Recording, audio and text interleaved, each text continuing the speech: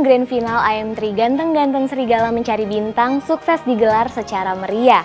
Acara yang diramaikan dengan drama musikal dari para pemainnya pun tak kalah memukau. Penonton yang histeris bergema sepanjang acara menyaksikan kepiawaian Aliando Syarif, Prilly Latukonsina, Jessica Mila, dan Kevin Julio yang tak hanya bermain drama, tapi juga bernyanyi dan menari. Lalu seperti apa pula harap-harap cemas para peserta untuk melalui setiap ujian menjadi sang jawara? Dan bagaimana kebahagiaan para pemenang saat pintu karir mereka mulai terbuka lewat sinetron Ganteng-Ganteng Serigala? Pemirsa, mari kita simak liputannya berikut ini.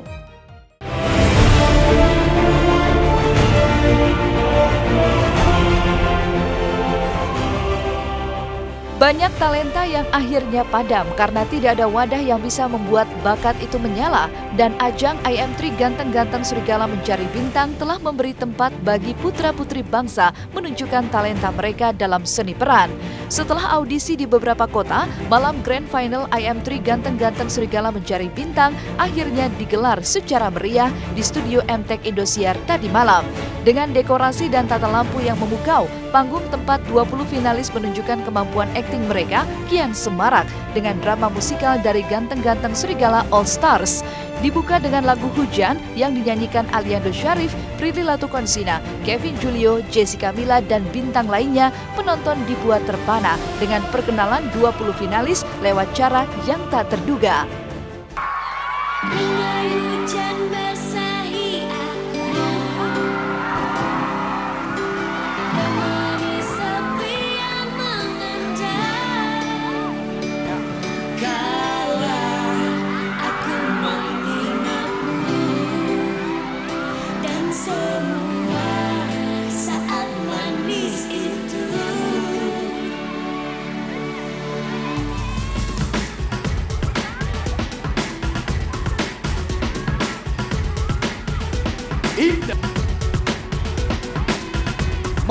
Marcelino Bernard Manado. Tengku Tesi Medan.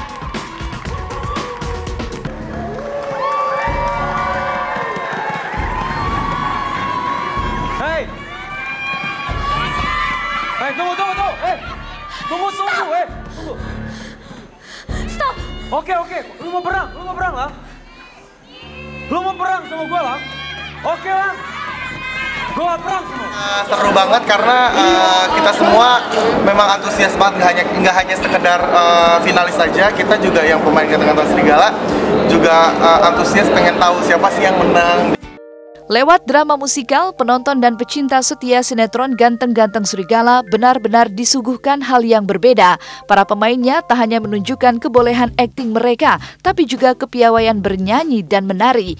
Apalagi ketika di panggung Grand Final IM3 Ganteng-Ganteng Serigala Mencari Bintang, Aliando Syarif dan Prilly Latukonsina sukses menghipnotis penggemar mereka. Berkali-kali adegan mesra yang diperagakan keduanya membuat teriakan histeris penonton terus bergema sepanjang acara. Hei, Aku minta maaf tadi aku nggak bisa Aku nggak bisa nyelamatin kamu Kamu nggak apa-apa kan? hei. Oh, aku nggak apa-apa. Kamu marah ya sama aku? Enggak.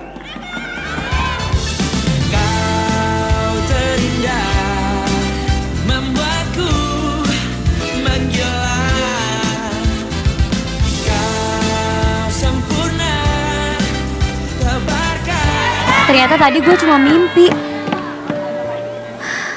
My baby honey mana ya? Ini beneran kamu? Ya ampun kamu gak apa-apa kan? Ya, alhamdulillah sih kita senang banget ya kalau misalnya series dan segala macam kayak gitu.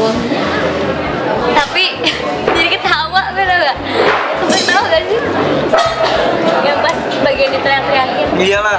Jadi kayak dialog serius Pertama gini, gitu. pertama gini. Pertama, ibarat tuh konsen gitu kan. Ibarat nggak ada penonton gitu. Terus ngomong teriak-teriak. Terus tiba-tiba ada satu gebrakan. Cie. cie. Iya, ya Tiba-tiba setengah dari bagian eh, konsentrasi gua buka.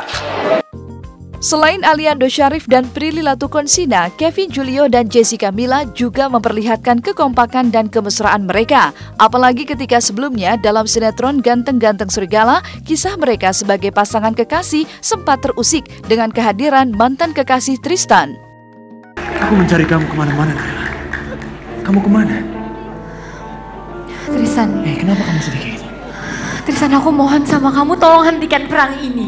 Gak mikirin gosip sih, karena cuman berusaha untuk menampilkan yang terbaik aja, untuk bikin penonton seneng, untuk bikin Nathan Lover seneng, karena kan ya kalau misalnya di GGS kadang-kadang kita suka ayo mana sih nih adegan romantisnya mana sih adegan romantis tapi kan kita ngikutin skenario gitu kan ngikutin kebutuhan juga kalau di sini ya kebetulan ada dikasih kesempatan oke nih kita dikasih kesempatan untuk eh, ada beradegan romantis berarti kita dikasih kesempatan juga untuk menyenangkan fans Naila dan Tristan gitu jadi ya udah kita berusaha untuk memberikan yang terbaik aja Oke sih, cuman kurang agak sedikit apa ya?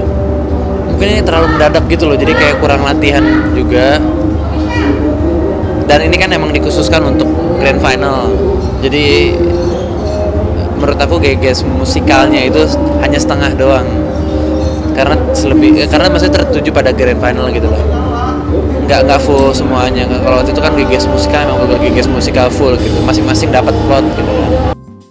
Di sela-sela penampilan memukau dari ganteng-ganteng Serigala All Stars, ada ketegangan dari para peserta. Pasalnya, mereka tak cukup hanya bermodalkan para semata. Mereka harus mampu membuktikan kepiawaian berakting dan beradu peran dengan ganteng-ganteng Serigala All Stars. Di tahap awal, 10 dari 20 finalis harus tersingkir. Dan dari 20 finalis itu pula, para juri memilih satu peserta untuk menerima penghargaan kategori Camera Face yang dimenangkan oleh Zulkifli Ardi dari Manado.